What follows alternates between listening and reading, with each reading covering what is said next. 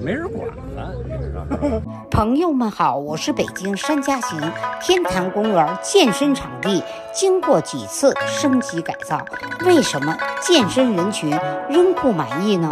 到底出现的问题在哪儿呢？请您一键三连关注。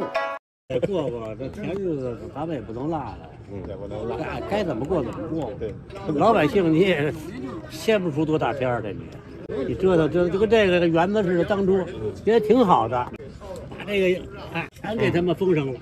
本来老百姓就这么点儿，就这么一点儿，就这个娱乐和这锻炼身体地方，哎，全给圈起来了。对，到到最后打起来了，和警察也来了。哦，好，就是一样，就就给你那么着，就不改。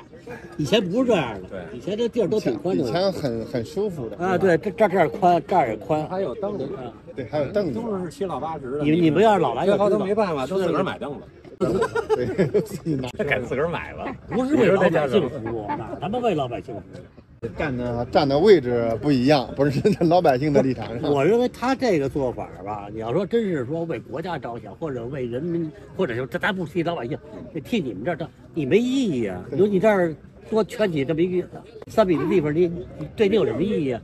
你说你绿化了，能能起多大作用？天天的绿化这么多了，是不是啊？对不敢说百分之百吧，达到百分之差不多九十了，这这已经够了。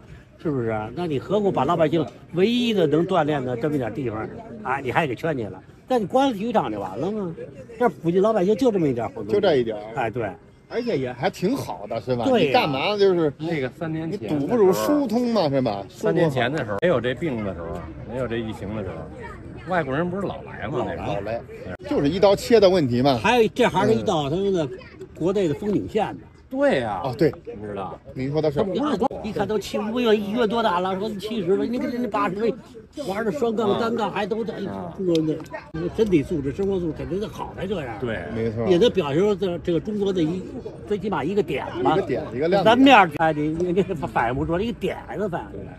真正要看就看你实实在在的老百姓的生活了。主要是看咱们的看点人文的，看你那些死的建筑，说有几个懂的呀？是对呀吧？，你高楼大厦更没意思。对，说的是。所以说他们这大概都没站到那种高度上，啊，没站到。还是为自个儿怎么合适，怎么别出事儿，明哲保身吧，就是自个儿别出事儿。